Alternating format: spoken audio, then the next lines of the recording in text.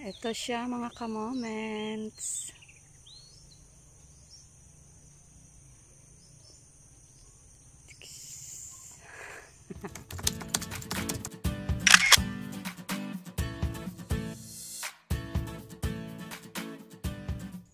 Hello mga ka-moments. Tara tingnan natin ang bulaklak ng citronella. I-share ko po sa inyo kung ano ang hitsura. Super sweet lang gawa ng daanan ko guys. Ayan, nabibigyan natin yun.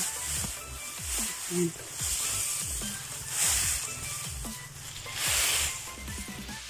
Ayan na.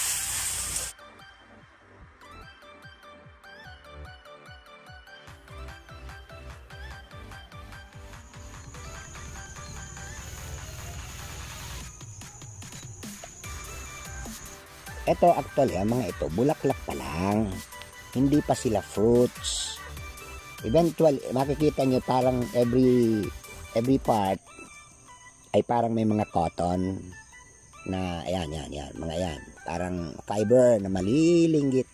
Kasi that's nature's way of dispersing the seeds in case pag natuyo na siya, yung, yung parang mga fibers na yan, bubuhaghag na yan, bubuka. Para na sa gayon, pag hangin, uh, ililipad sila.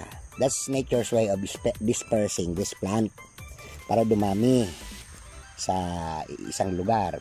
In fact, ito, nakakalipad ito ng milya-milya. So, in other words, by nature, dapat kumalat ito sa isang maluwang na lugar. Ay. Citronella. Yan ang bulaklak ng citronella. Ala pa siyang fruits. Puro Fruits. yung bulaklak.